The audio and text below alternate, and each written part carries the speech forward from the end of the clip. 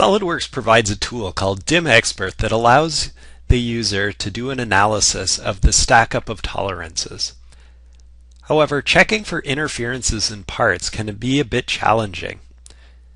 There are add-in programs to do a very detailed automatic analysis. However, if you only run into this occasionally and you don't you can't justify the expense of investing in these programs, I've created a simple solution for you. This part is a sample part. I've got a tolerance on the hole and the boss.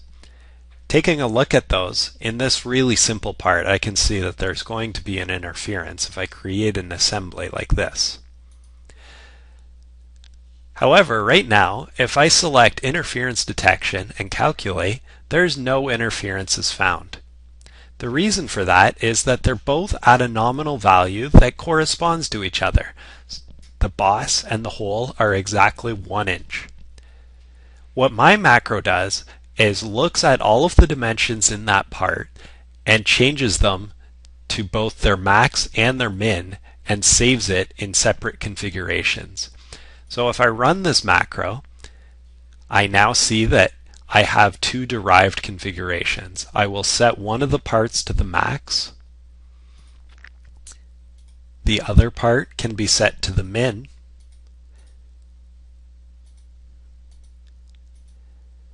And when I run interference detection, I now see that there is an interference.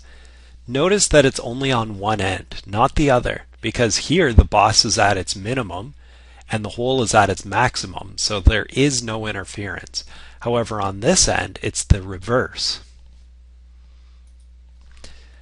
To do a full analysis, you'll need to swap out and check all of the possible conditions where there may be an interference.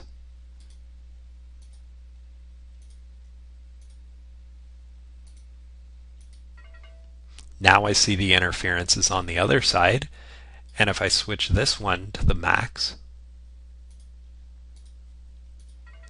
there are no interferences when the hole is at its maximum diameter and so is the boss with the way I've dimensioned the original values. Thank you for your time. I hope this macro can assist you.